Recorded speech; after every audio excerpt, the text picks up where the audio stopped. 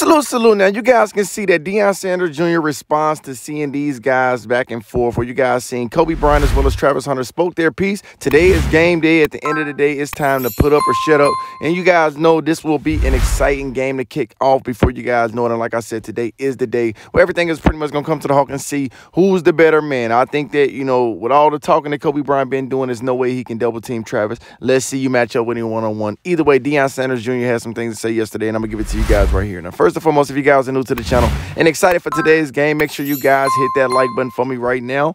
Subscribe, go down and hit that post notification bell, turn it on to all so you guys getting all the latest content as soon as it becomes available. I want to make sure my audience is getting it. Now, Travis Hunter been walking in and talking it all year. As Shedeur Sanders said earlier this season, Colorado was everybody's Super Bowl, and Cobee Bryant pretty much confirmed this. He said he had this game circled on his calendar all year long. And at the end of the day, today is the day. Either way, you guys can see Deion Sanders Jr. let it be know these boys ain't talking SHIT.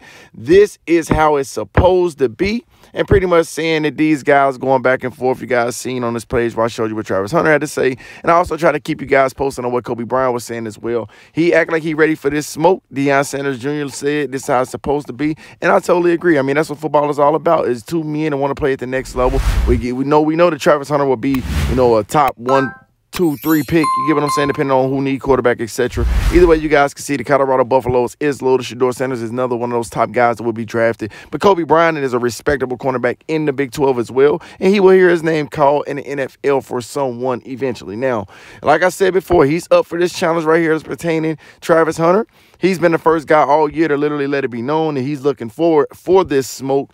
And like Travis Hunter said, these guys don't have to double team, going to have to double team. You guys can see that's what Deion Sanders Jr. had to say. Is it supposed to be like this? It's two guys that's topping the Big 12, respectable, you know, both sides of the ball for Travis Hunter, and a cornerback for Kansas. Kansas is rolling, man. I mean, they knocked off Iowa State, they knocked off BYU, and now they have a tall task to knock off the Colorado Buffaloes, which I think that Travis Hunter will eat today. I don't know what you guys think in the comment section below about Deion Sanders Jr., what he had to say.